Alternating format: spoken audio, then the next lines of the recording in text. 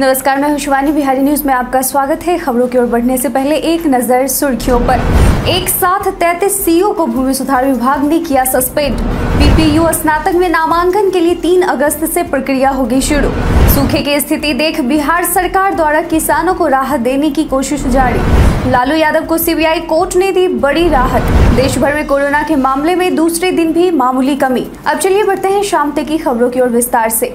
एक साथ तैतीस सीओ को राजस्व और भूमि सुधार विभाग ने किया सस्पेंड। बिहार के राजस्व और भूमि सुधार विभाग ने बड़ी कार्रवाई करते हुए तैतीस सीओ को सस्पेंड कर दिया है। यह कार्रवाई बिना सटे के कारण बताए दाखिल खारिज से जुड़े आवेदन रद्द करने के कारण की गई है। वहीं आज से चार हज़ार तीन सौ तिरपन नए कर्मचारी काम करेंगे। इसको लेकर भूमि सुधार मंत्री रामसूरत राय ने कहा कि बिना सटीक कारण बताए दाखिल खारिज से जुड़े आवेदन रद्द करने की वजह से तैतीस सीओ को सस्पेंड कर दिया गया है। यही नहीं, इसके अलावा सौ ऐसे सीओ हैं जिन्हें शो कॉज किया गया है और इनसे स्पष्टीकरण मांगा गया है। भ्रष्ट रेलवे अधिकारियों को सीबीआई ने किया गिरफ़्तार। बिहार के भ्रष्ट अधिकारियों पर सीबीआई लगातार शिकंजा कस रही है। इसी इसी कड़ी में रिश्वतखोरी के मामले में सीबीआई ने ईसीआर के अधिकारियों के खिलाफ बड़ी कार्रवाई की है। इस मामले में सीबीआई ने बीते दिन पूर्व मध्य रेल के तीन अधिकारी सहित पाँच लोगों को गिरफ़्तार किया है, जिनमें पूर्व मध्य रेल के मुख्य माल परिवहन प्रबंधक संजय कुमार, समस्तीपुर के वरीय मंडल परिचालन प्रबंधक रूपेश कुमार और सोनपुर के वरीय मंडल परिचालन प्रबंधक सचिन मिश्रा शामिल हैं।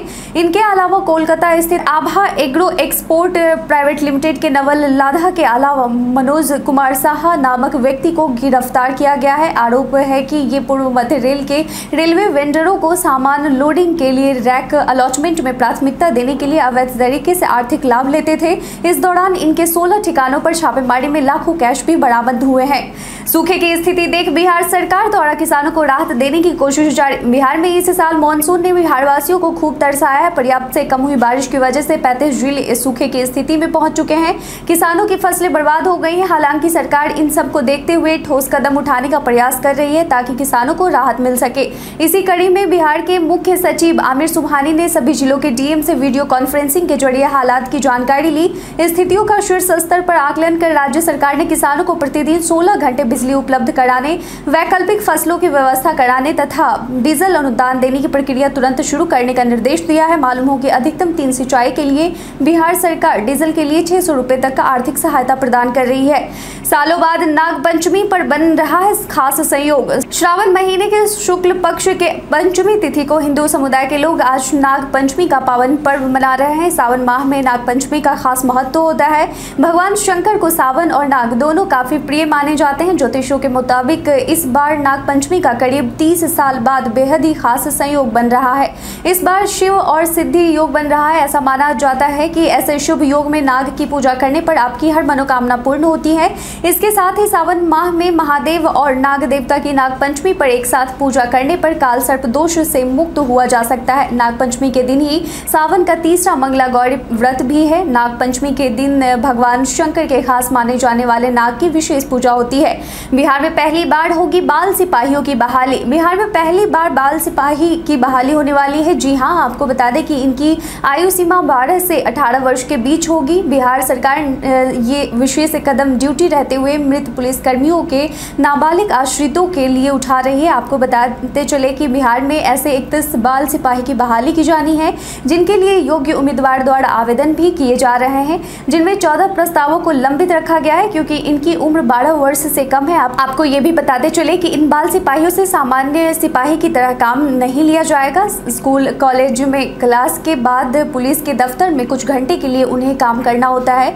सिपाही का आधा वेतन देने का प्रावधान भी है। वहीं 18 वर्ष की उम्र सीमा के बाद ये शारीरिक रूप से फिट होने पर सिपाही बनते हैं अन्यथा इन्हें छूट देकर इस पद पर नियुक्त किया जाता है। राजधानी में पार्किंग की दिक्कत से मिलेगा छुटकारा। बनेंगे दस मल्टी लेवल पार्किंग। बिहार की राजधानी पटना में पार्किंग की समस्या अक्सर देखी जाती है। हालाँकि अब लोगों को पार्किंग की समस्या से निजात मिलेगा। पार्किंग की समस्या को देखते हुए शहर में आठ जगह, Gandhi Maidan road exhibition road, Fraser road, station road Buddha Marg Bailey road, पूर्वी Boring canal road, Boring road पर मल्टी लेवल पार्किंग बनाई जाएगी। साथ ही गंगा नदी के किनारे दीघा घाट पर बायोडाइवर्सिटी पार्क का भी निर्माण होगा। यह अहम फैसला Patna smart city limited board की तेईसवीं बैठक में ली गई है। इसके अलावा मौर्या टावर का जीर्णोद्धार करके इसे नौ मंजिला इमारत में विकसित किया जाएगा, जिसमें roof top garden food court और पार्किंग जैसी सुविधाएँ मिले। यही नहीं, शहर के दस जगह, गोला रोड मोड़, आरपीएस मोड़, चिड़िया गेट नंबर एक, शेखपुरा मोड़, विद्युत भवन, विश्वेश्वरैया भवन, राजेंद्र नगर टर्मिनल, भूतनाथ क्रॉसिंग कुम्हरार में फुट ओवर ब्रिज बनाए जाएँगे। वोटर लिस्ट में नाम जुड़वाने के लिए अब एक नहीं, बल्कि चार चार मिलेंगे मौके। वोटर लिस्ट में नाम जुड़वाने के लिए नए वोटरों के लिए अच्छी खबर है। अब वोटर लिस्ट में नाम जुड़वाने के लिए आपको एक नहीं, बल्कि चार चार मौके मिलेंगे। मालूम हो कि किसी भी नए वोटर को अपना नाम जुड़वाने के लिए एक ही समय एक जनवरी को 18 साल पूरे होने पर दिया जाता था। लेकिन अब नए वोटर एक जनवरी के अलावा एक अप्रैल, एक जुलाई और एक अक्टूबर को भी अपना नाम वोटर लिस्ट में जुड़वा सकेंगे। साथ ही नए डेट के मुताबिक आवेदन वोटर लिस्ट में प्रारूप प्रकाशन की डेट 9 नवंबर 2022 के बाद से किए जा सकेंगे। इतनी कम उम्र में बिहार का सूर्यांश बना छप्पन कंपनी का सीईओ बिहार प्रतिभाओं का क्षेत्र है। अगर ऐसा कहा जाए तो यह कहना गलत नहीं होगा, क्योंकि आए दिन बिहार के अलग अलग क्षेत्रों से कोई प्रतिभावान निकल कर सामने आता है और बिहार के साथ साथ देश का नाम रोशन करता है। इस बीच बिहार के मुजफ्फरपुर के रहने वाले 18 वर्ष से कम उम्र के एक बच्चे ने बड़ा कारनामा कर दिखाया है। उसने नौवीं कक्षा में ही पहली कंपनी खोली थी। इस उपलब्धि के बाद सूर्यांश दुनिया के सबसे कम उम्र के सीईओ बन गए हैं और अब वह कुल छप्पन कंपनियों का सीईओ है। सूर्यांश का कहना है कि उसे ऑनलाइन कंपनी खोलने का आइडिया तब आया जब वह चीज़ों को ऑनलाइन सर्च कर रहा था। आपको बता दें कि American leading media company TechCrunch की डाटाबेस एजेंसी क्रंच बेस की रैंकिंग के अनुसार सूर्यांश का रैंक मात्र चौदह है, जो कि दुनिया के सबसे अमीर व्यक्ति एलन मस्क मार्क जुकरबर्ग उद्योगपति बिल गेट्स मुकेश अंबानी के रैंक से काफ़ी ऊपर है। लालू यादव को सीबीआई कोर्ट ने दी बड़ी राहत। राजद और राजद सुप्रीमो, लालू यादव के समर्थकों के लिए अच्छी खबर है। दरअसल लालू यादव के सिंगापुर में इलाज का रास्ता साफ़ हो गया है। बीते दिन लालू यादव के पासपोर्ट का रिन्यू करने की अनुमति सीबीआई कोर्ट ने दे दी है, जिसके बाद अब वे जल्द ही इलाज के लिए सिंगापुर जा सकते हैं। मालूम हो कि हाल ही में लालू प्रसाद यादव की तबीयत बेहद खराब हो गई थी। लालू यादव पटना स्थित अपने राबड़ी आवास सीढ़ियों से चढ़ने के दौरान गिर गए थे, जिसके बाद उनका इलाज दिल्ली एम्स में चला। वो अभी अपनी बेटी मीसा भारती के घर पर हैं और जल्द ही इलाज के लिए सिंगापुर जाएँगे। मुकामा उपचुनाव को लेकर अनंत सिंह की पत्नी का बड़ा दावा। हाल ही में मुकामा के विधायक अनंत सिंह को उनके आवास पर हथियार मिलने के बाद आरोप में 10 साल की जेल हुई। इसके बाद अनंत सिंह की विधायकी भी छिन गई। अनंत सिंह की विधायकी जाने के बाद मुकामा विधानसभा क्षेत्र की सीट खाली हो गई। है। जिस पर उपचुनाव होना है, इसके लिए तमाम राजनीतिक पार्टियाँ कोशिश में लगी हैं। वहीं अनंत सिंह की पत्नी नीलम देवी उपचुनाव में विरोधियों को टक्कर देने के लिए तैयार हैं।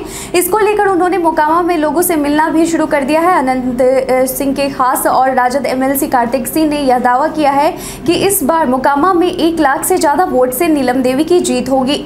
जेपी नड्डा के बयान पर भड़क गए राजद। हाल ही में तीस और इकतीस जुलाई को भाजपा की ऐतिहासिक कार्यकारिणी समिति की बैठक सम्पन्न हुई, जिसमें भाजपा राष्ट्रीय अध्यक्ष जेपी नड्डा और गृह मंत्री अमित शाह आए थे। इस दौरान जेपी नड्डा के दिए गए एक बयान पर राजद पूरी तरह से भड़क गई है। दरअसल, उन्होंने कहा था कि सभी दल समाप्त हो जाएँगे और केवल भाजपा ही रह जाएगी। वहीं राजद प्रवक्ता चित्रंजन गगन ने जेपी नड्डा के बयान पर भारी नाराज़गी ज़ाहिर की है। उन्होंने कहा कि बीजेपी के राष्ट्रीय अध्यक्ष जेपी नड्डा द्वारा दिए गए बयान से यह स्पष्ट हो गया कि बीजेपी को भारतीय संविधान में आस्था नहीं है। कुल दो सीटों पर तैयारी करेंगे। मुकेश सहनी अपने ही नेताओं द्वारा धोखा दिए जाने के बाद अब मुकेश सहनी अकेले पड़ गए हैं। हालाँकि उन्होंने कोशिश नहीं छोड़ी है और अलग अलग जिलों में घूम घूम कर अपनी पार्टी के विस्तार और कार्यकर्ताओं के अंदर जोश भरने की कोशिश कर रहे हैं। इस दौरान मुकेश सहनी ने बिहार विधानसभा के कुल दो सीटों पर तैयारी करने की बात कही है। मुकेश सहनी ने कहा कि हम लोग पूरे राज्य में लोकसभा और विधानसभा सीट के अनुसार तैयारी कर रहे हैं। विधानसभा के दो और लोकसभा की चालीस सीटों पर हमारी तैयारी चल रही मुकेश सहनी का यह भी कहना था कि न केवल बिहार, बल्कि झारखंड और उत्तर प्रदेश में भी हम लोग तैयारी कर रहे हैं।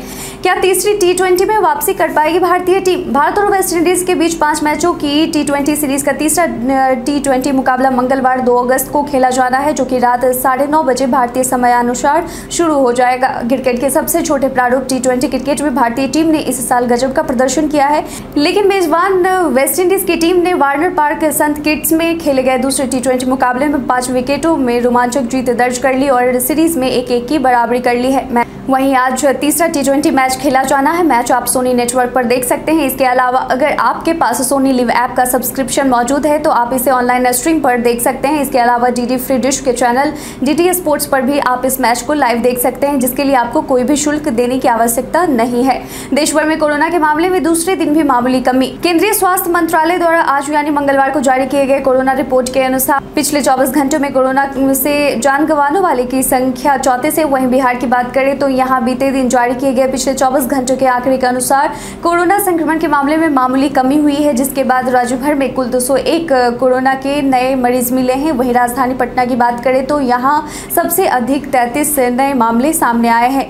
बीते दिन हमारे द्वारा पूछे गए सवाल का आप लोगों में से बहुत लोगों ने अपना जवाब हमें कमेंट सेक्शन में लिखकर दिया था, जिन्होंने पूछे गए सवाल का जवाब दिया है। उनके नाम है राजकुमार प्रसाद, नुन्नू कुमार, सुजाता पांडे, रामशंकर दास राकेश कुमार, मैकाल मुर्मू संजीत कुमार सुमन रामबरन सहनी, महेश दास, उमेश ऋषिदेव। इसके साथ ही बढ़ते हैं आज के सवाल की ओर। आज का सवाल है कि भारतीय टीम आज वेस्ट इंडीज के खिलाफ बदलाव के साथ मैदान में उतरना चाहेगी अपना जवाब हमें कॉमेंट सेक्शन में लिखकर ज़रूर बताएँ। आज के लिए बस इतना ही। बिहार की तमाम खबर के साथ अपडेट रहने के लिए देखते रहें बिहारी न्यूज़। साथ ही चैनल को सब्सक्राइब करना और बेल आइकन दबाना ना भूलें। धन्यवाद।